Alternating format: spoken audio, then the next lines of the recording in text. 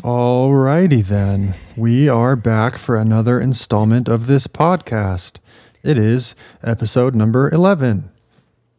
What's up? It's been a rough ass week, just like the week before this one. We can't do this anymore. Just complain at the beginning of every yes, episode. every episode, people are like, "What a bus."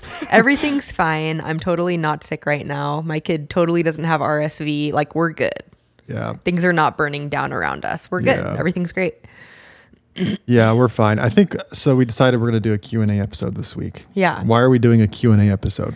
Just because I want, I know what I think I want to share and what I want to talk about, but then there's the other side of the coin where I'd like to be getting feedback from you guys and um, just kind of like keeping a pulse on what people's struggles are. And there's no easier way to get what you're looking for than to just ask.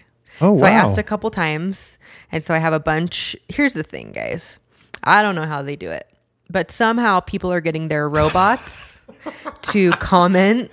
It's in, it's the little input thing on your Instagram story where you ask a question and someone can input you fill the in answer. the box, but like, how is your robot doing that? Yeah. I don't have hashtags or anything. Like, how are you even finding me? These people don't follow me. One of the questions was, "How old were you when you learned Santa was re- wasn't real?" I, listen, I could be wrong. I could be wrong. Well, Now that I'm thinking about it, I'm like, I didn't even check that one, and that's probably not fake. What the hell? So I guess I'm going to answer that right now. Um, I have no idea. I can't Uh, remember. I don't remember the age, but I remember uh, how it happened. I mean, who, why are we even talking about this? because now I feel bad because this person could be, and I will find out if this person is one of my followers. All I do know in regards to all of that is there was one time in the car I asked my mom, "Mom, is Santa real?" while my little sister was in the car. Oh, no. Obviously traumatic because I got in big trouble for that. Oh, Because of course she was like, "Of course you would ask me when your sister's in the car." Um, my point is there are robots that are like answering and like cool stuff low carb llama awesome page great content low carb llama so if you see me get a little hung up like my brain normally does it's because i am filtering through that Filtering and i was not responsible enough to just go ahead and write these questions down so i have screenshots of the answers and we're just going to kind of take it from there something that i did post about in my facebook group if you're not in my facebook group it is more ketone centric but it's great um, Your Facebook group. my Facebook group. It also has the same name as this podcast. So find me on Facebook. Um, I have a page too, but it's linked to my Instagram. It's called Sustaining Keto. And I keep seeing floating around people saying that like this is the time of the year or the month where people give up on their New Year's resolutions. Oh, yeah. That's true. So I didn't get much feedback on this post, and I don't know. I want to know if you do, if you are in that group or you do decide to join it, comment on that post because I'm interested in two things. Number one, have you given up on your resolutions? It's the 23rd of January when we're recording this. If you have, why do you think that is? And if you haven't, why do you think that is? Like, I'm just super interested. Hmm. Nothing has gone wrong if you haven't stuck to what you said you were going to do clearly that's kind of like the consensus of like that just happened that's why i think resolution is kind of like a buzzword and people like are like don't call them resolutions but i'm just interested if it has been different for you this year if you have made it longer like why is that and if you haven't and this keeps happening and this is a pattern for you i'm really interested in why you think that is i think i know why it is but i want to know and it helps me to help you guys better so let's get started also, disclaimer: every one of Maggie's answers to these questions is gonna is gonna circle around to your thoughts. just so you know, you're not gonna get the Um, Some answer of you them want. Are concrete. really? This is what I was thinking about today as I was driving, as I continue to put off the Q and A that was promised to you, is that so what I'm learning about with my coaching is that like I will probably I will have a very specific group of people that I work with. However, I can work with anybody. Um, but what I was thinking was like there are some people that are like the best at teaching keto newbies. And that is so awesome. Yeah. Like there are so there are some people out there. This was just a, a big light bulb that went on. There are people that will tell you exactly what to eat. They will tell you really good tips for getting started, which I have some of those. Um, but they are they love talking about that stuff and they love sharing about it. And you should go find them. Here's the thing. You you especially if you're like me and you have like an online platform where you're sharing stuff what i have found is if i'm sharing stuff that like i don't want to talk about or if i find is draining i don't like it and Yeah. you, I don't show up the way f- that I want to show up for you. So for me, it became very important that I was like, I love sharing food that is simple and like that you can like I just shared my tuna tacos where you like make tuna and then you put them inside a piece of Swiss cheese. I'm not going to write a, a, a cookbook. Okay. Do not fo- follow me for awesome recipes. But if you want food ideas that are simple that you can probably make from stuff that's already in your kitchen, like I'm your girl. If you want someone to walk you through how to get started on keto, I'm not that person. Yeah. But the person that I am is the person who will help you with this this super super important piece which is the mindset side. I can give you keto tips and and tell you you know from my side what I think would help but there are people who like specialize even if they're not like professional they don't charge for their services they their accounts specialize in helping you and I just was thinking in my car I'm like it's okay that you don't feel like your shining quality is helping people from the get-go. Like let's say you've never done anything keto and you're like I want to get started on keto, what do I do? Not my favorite question to answer. I don't like I don't like answering that question. I can I can answer that question. I can direct you to a place. There's a, a, a few keto subreddits. Get on reddit.com Mm-hmm. and figure out how to use it and go onto the subreddit and search the it's a it's an online forum. Search in the keto subreddits whatever you're looking for. There are hundreds and hundreds of recipes, posts, people that have been there before. I hate Reddit. I love Reddit. I know. Reddit is amazing. And that's that's what I want to highlight. There is different strokes for different folks. like he thinks Reddit. I when I first started, I followed so many people on Instagram. But just know that you are going to get different content from different people. And my hope is that the people that you're following love what they're sharing. Like they love well lit, creative recipes, if that's what you're into. Or if you need something super simple. Okay. Most of my demographic, I know it spans far and wide. Most of my Well, well, okay. I, I I don't mean So that fa- so famous. no, but I I don't mean like there are men that follow me, not most of my demographic. Got it. There are um, single college students that follow me, not most of my demographic. Most of the people that follow me are ages 25 to 40 or 25 to 45. They're moms, Yep. a lot of them with young children. They're balancing working from home or working out of the home. It's just there are specific struggles to that demographic, which I am part of. Like Yeah. that is where I'm at. And so the people that follow me and are like getting hyped because I wrapped tuna in a piece of Swiss cheese, like those are my people. Like those are the people that I'm that I'm best at helping, I feel like. There's so many resources out there too. You can get so much different stuff from everyone. So I just decided to stop feeling guilty that I'm not the best person. But you know what I do think I could do is get a list of five accounts that are really, really good at providing resources to people who have never made a keto meal in their life and I'm going to start pointing people to those people. So if you can think of any people you're like, "Oh my gosh, so great for just getting started."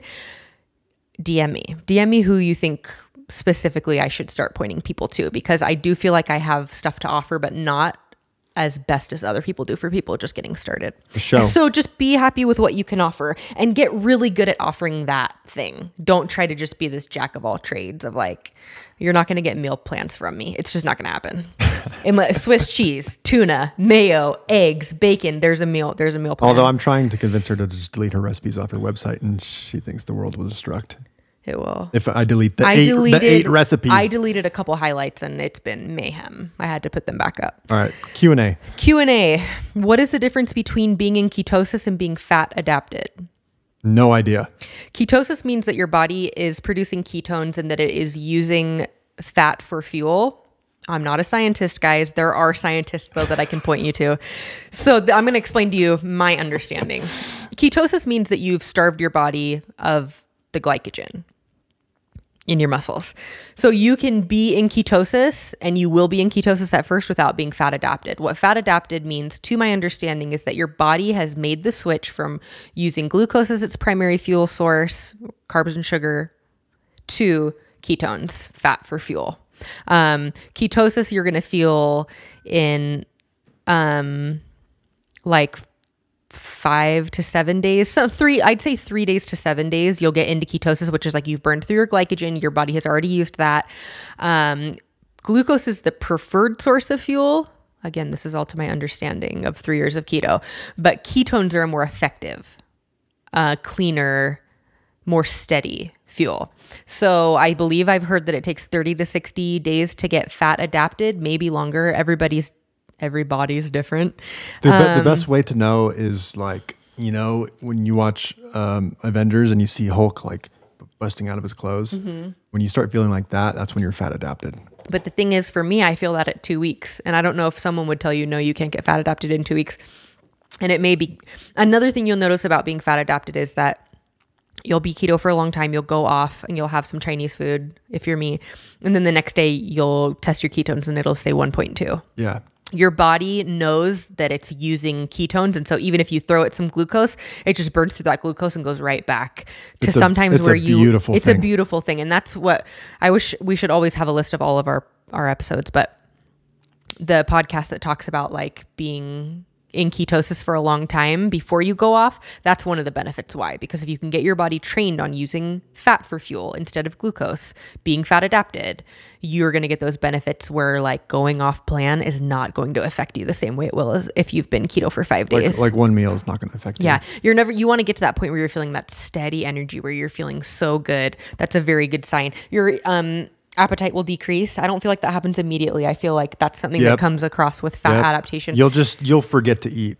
That's and how not hungry you'll be. Yeah. and uh, cravings and appetite suppression. I mean, it just That's the one reason I do keto yeah, because I can't handle the sugar cravings. yeah. It feel it feels like like just so much. You feel like a little more like at you're at the mercy of your Yeah. surroundings, and like just it just is easier to give in your body. It's like retraining your body to just not really care about that stuff very much, and it's a huge blessing in disguise to put in that work and then the payoff as like, oh, I just I used to love cookies, and now I just don't really care for them. And I- I I have don't to kind of hype myself up to even want one because the Yeah. physiological of desiring that cookie it just disappears. So that's why we've talked about urges before, but like keto makes that whole process so much easier, and being fat adapted makes it so much easier. fat adapted. Get it? Fat adapted is the ultimate goal. The goal is not ketosis. The the goal is not obviously it is ketosis because fat adaptation is long term ketosis. I I believe I believe I've heard that you can also get fat adapted in other ways. where you're still, but I'm not. I'm just not as well versed on that. Um, but fat adaptation is the goal if you want the full benefits. Um, are your kids? Are you doing keto for your kids too? I think I got asked that question a couple times. Wait, what do you, what does that mean? Is Holden eating keto?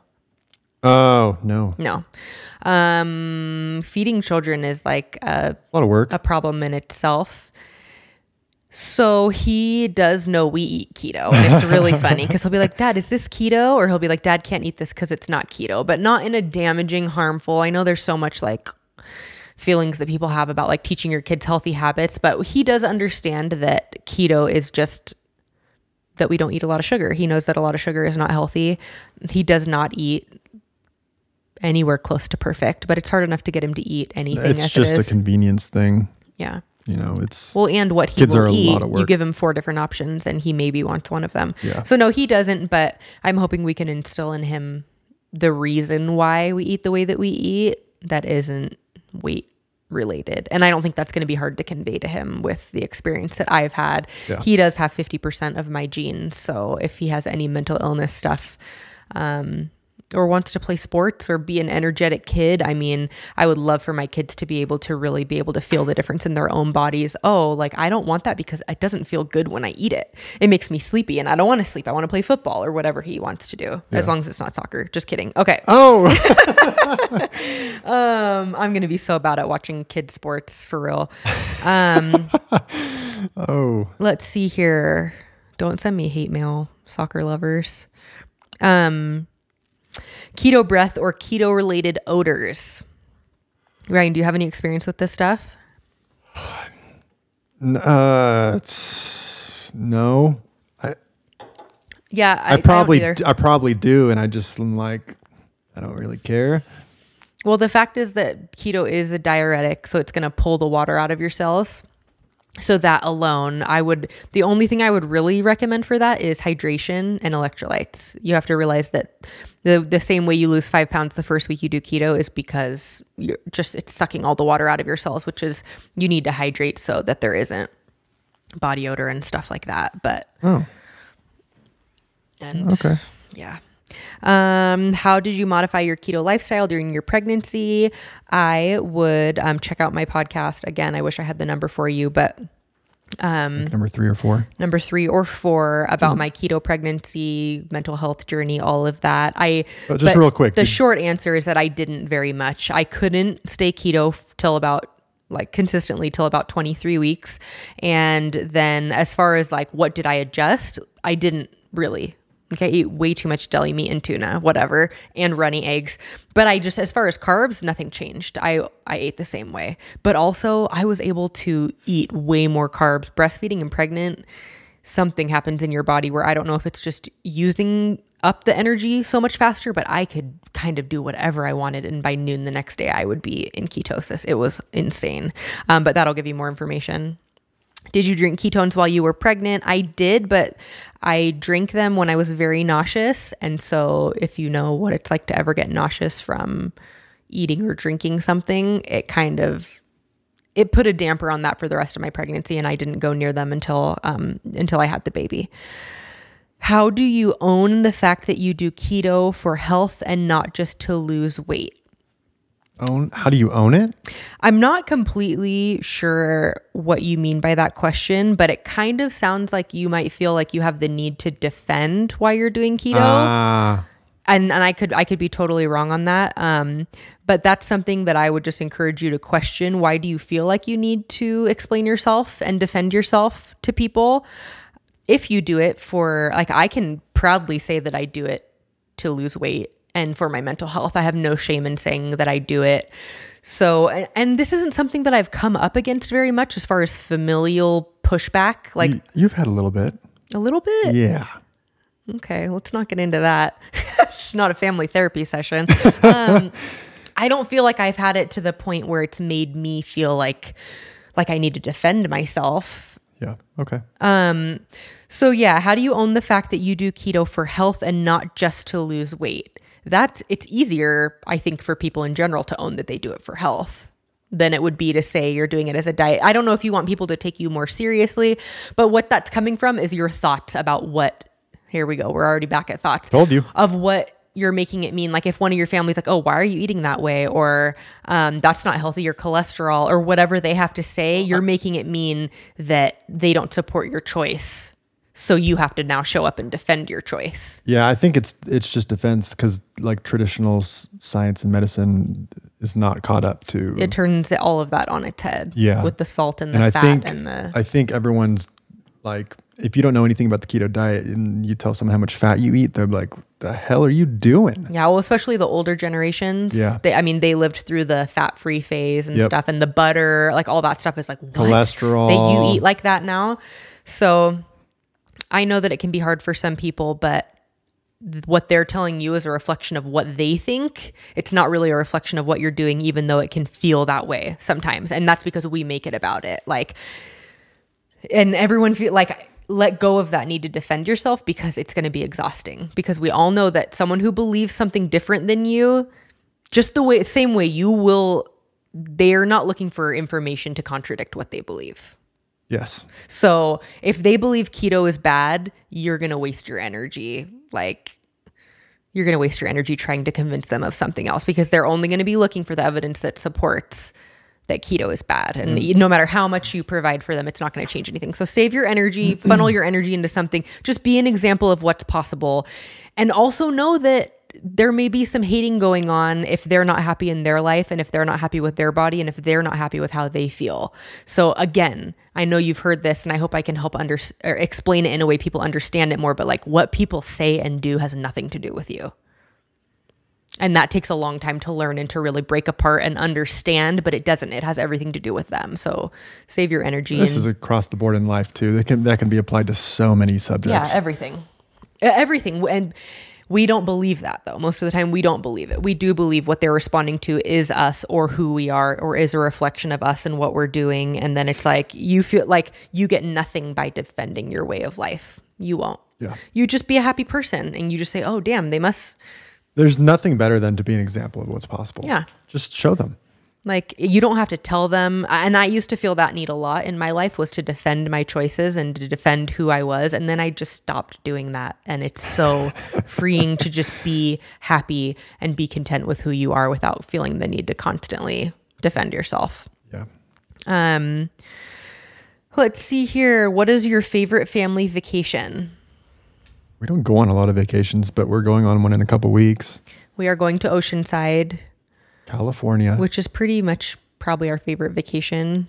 yeah. Growing up, Ryan Ryan's family got a uh, timeshare down in Oceanside, and they did that for years and years and years. And so we like that place. We like hanging out there. So we're going to go down there and work down there and take our four year old to the beach, which he only went to when he was 18 months old. For 18 months? Yeah. pretty sure. And he had hand, foot, and mouth at that time. So Yeah. we have really healthy children. Good times. And so, yeah, it's going to be super fun. Um, we don't travel very much. I, traveling has given me anxiety, but I'm trying to learn to be different than who I was before. So we're probably going to do like a good, we're actually going to Vegas at the end of this week and then a week later to Oceanside. So I'm trying to put myself out of my comfort zone. Yeah. Not sure what I'm afraid of. I just like the comfort of my home. Um, what would you say to people that, that tell you my doctor says that keto is bad for you? Most doctors probably will tell you that. Hmm. Um, that's okay. it's not a big do you do you see everyone wants like, well, what do I say back? Well, what do I do? How, what if it was okay that your friend's doctor said keto is bad for you? What if that means nothing? Again, it's not a situation that you need to defend yourself or you can always get more information. Does that like pique your interest? Do you want to know why the doctor said? Do you know want to know why they believe what they believe? Or is it just someone who's trying to discourage you and saying, Well, I checked with my doctor and they said that keto that I shouldn't do keto. And it's probably like, then you maybe you shouldn't. But Also, that's great advice. But also, someone once told me that when you go to medical school for eight years, there's like two days of nutrition. I've heard it's even less than that. So, do they really know? Yeah. But also, and this is a hard thing that I feel like I don't. Um, a doctor, a doctor. Obviously, they've gone to school and they have training and stuff. But I know I've been in the situation where I've known I've known for myself that whatever the doctor has recommended has not been best for me as me being in charge of this body and me being in charge of my health. My doctor is not in charge of my health. I am. Um, so I would just take it with a grain of salt. Yeah. You get to believe whatever you want to believe and whoever you want to believe. Um, I would hate for there to be people who didn't try it just because someone who may be educated and may be uneducated, maybe he is educated, maybe he has tons of experience, and he's like, based on everything I've learned, that's just his body of study, what he's been taught and what he's seen and what he has learned. He has deemed that it's not healthy. That's his opinion. And that could be his recommendation, and it's your job of whether or not. But this doesn't even sound like it's a it's a recommendation to you. It's just someone who says my doctor says keto is bad for you. Like, okay, good for your doctor. Doctors are not gods. Yeah. They, they are wrong sometimes. Yeah.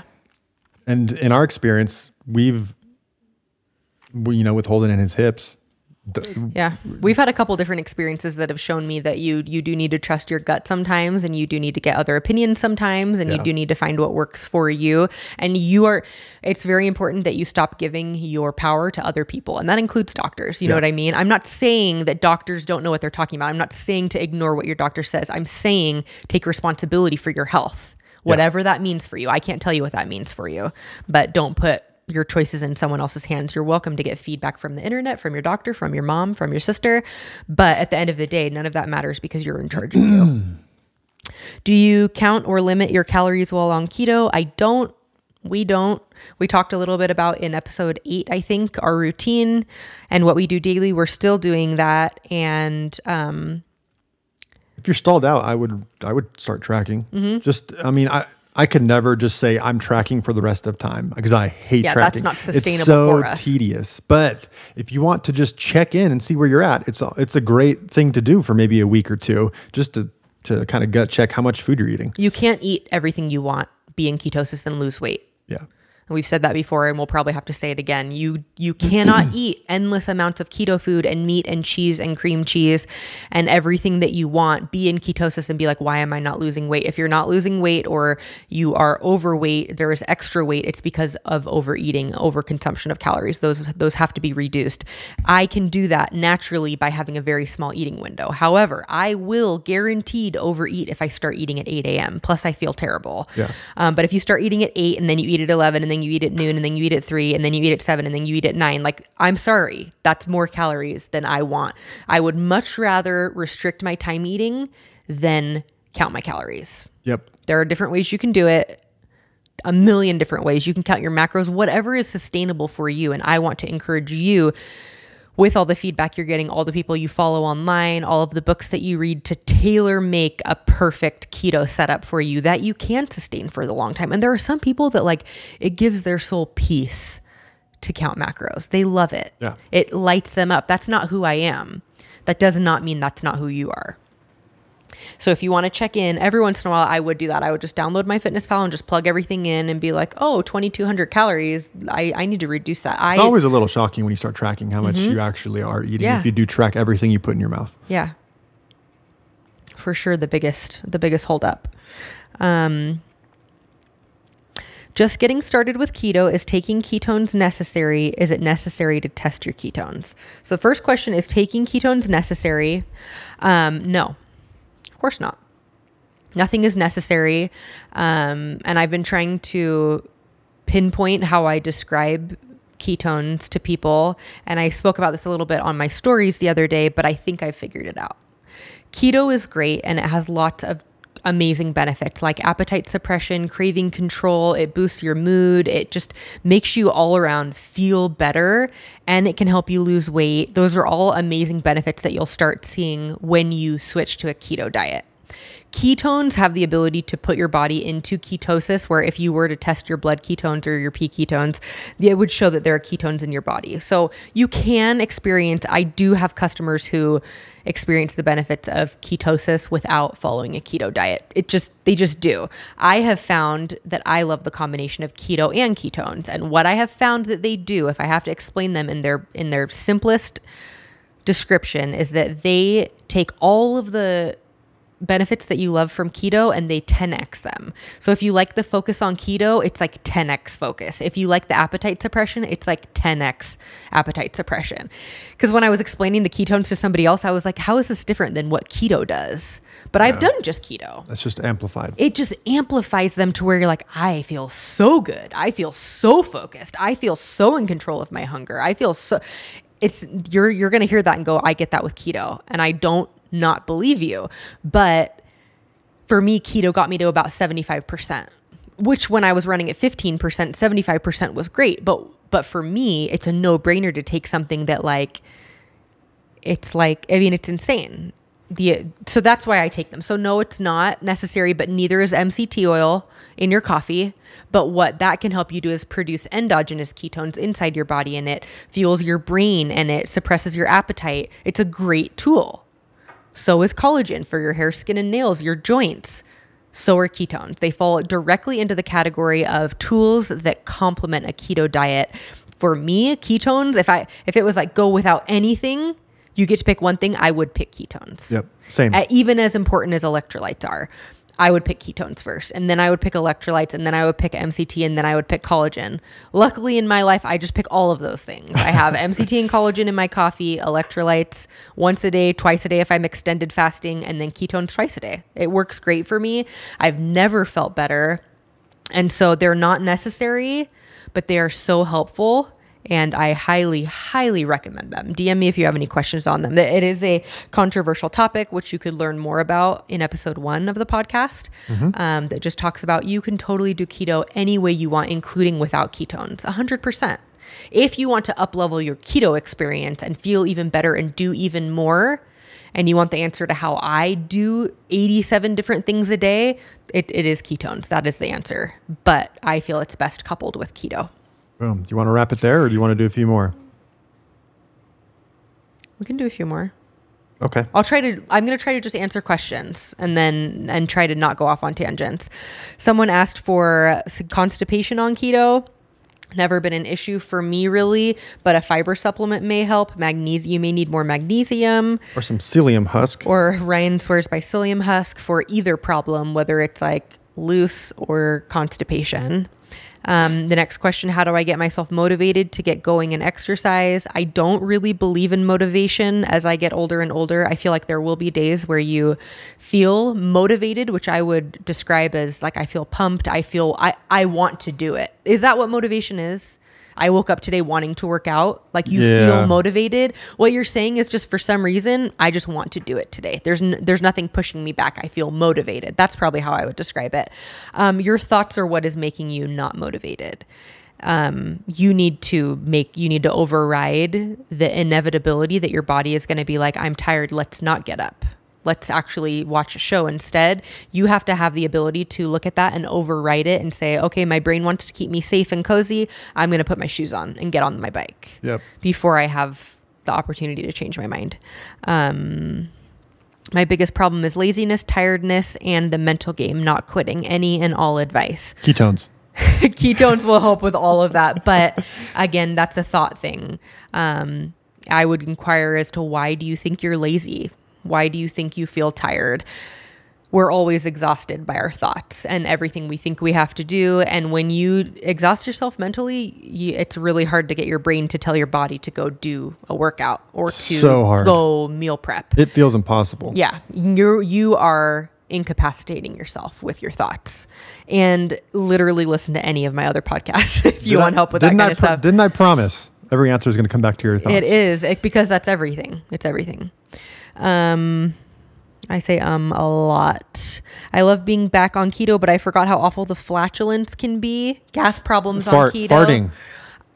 I don't have that problem when I'm keto, so I don't know. It could be the type of vegetables you're eating. Maybe do you? Not in particularly. Just you need to maybe just test out different foods. Maybe. Your stomach is probably just reacting to something. I would I would see if there's something you're pretty consistently eating. I do not have that problem at all with keto. Like almost to an astounding where I'm like it's shocking that It this isn't a- actually gets way better for me on keto. yeah. Ryan's stomach is destroyed when he's not on keto. Like I- within oh. an hour. Oh, done. Okay. Suggestions for staying on the keto wagon, getting very bored with keto. I think you could probably answer that question for yourself. Whoa. And Harsh. I mean that in the in the sense of if you're bored, what does it take for you to not be bored? What are you thinking that's causing you to feel boredom? I'm so sick of the food that I'm eating. I your your thoughts are causing you to feel bored. I would encourage you to find the thought that's bringing Goodness on that feeling and I would decide not to be bored.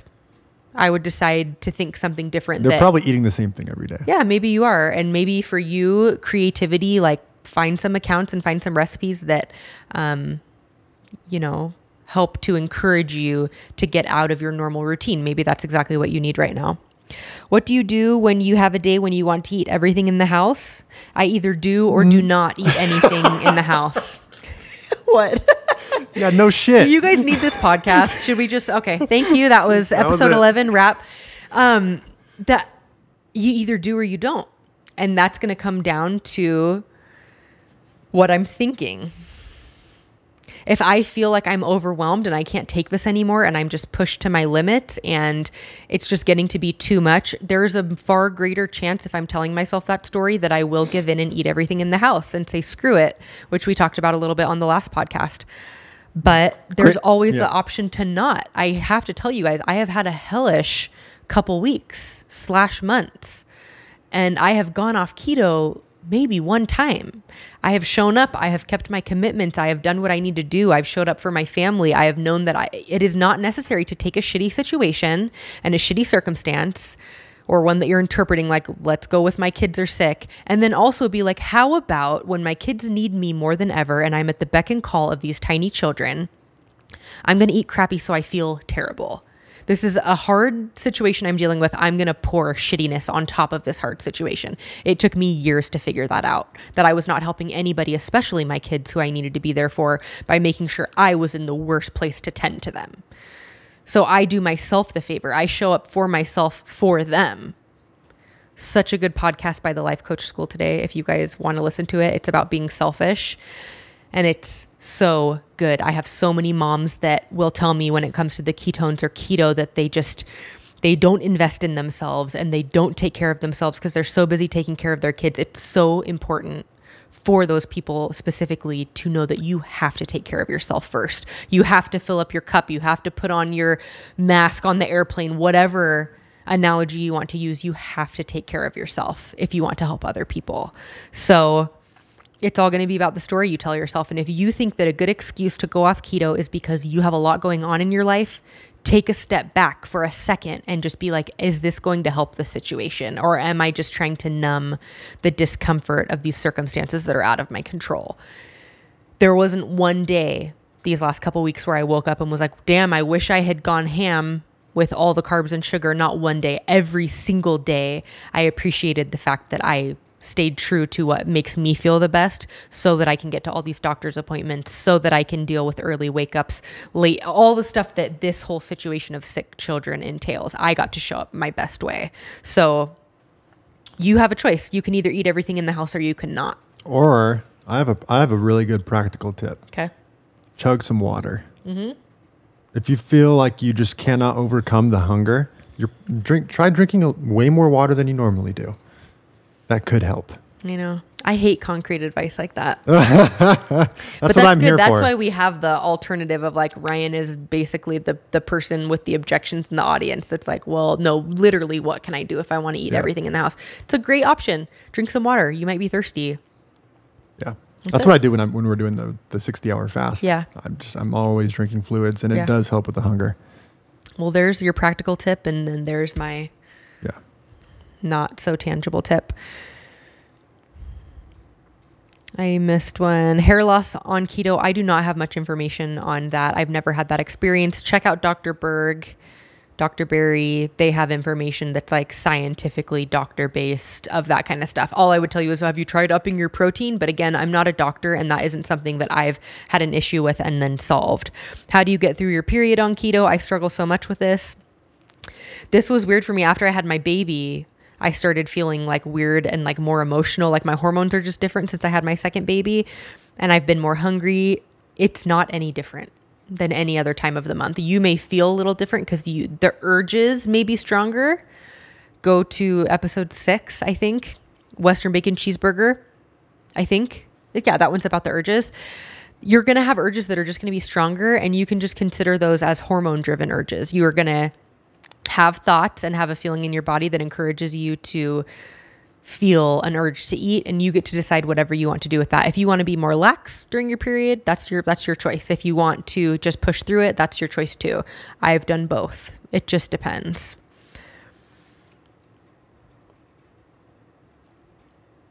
I think we can probably wrap there. We'll do these every so often just so these questions that you feel like you're not getting answered or you just want my and Ryan's specific opinions on these will kind of like give you some insight into how we handle these situations or what we recommend. If you have a question for a future Q&A podcast, just DM How one, DM one of us. How about Ooh. email instead?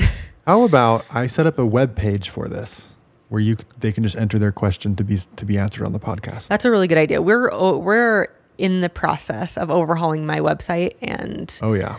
Um, that's I think that's a good way to just you can ask ask us and the questions will be answered on the podcast and I think that's a good idea. But until then, if you want to, my DMs are such a crazy place.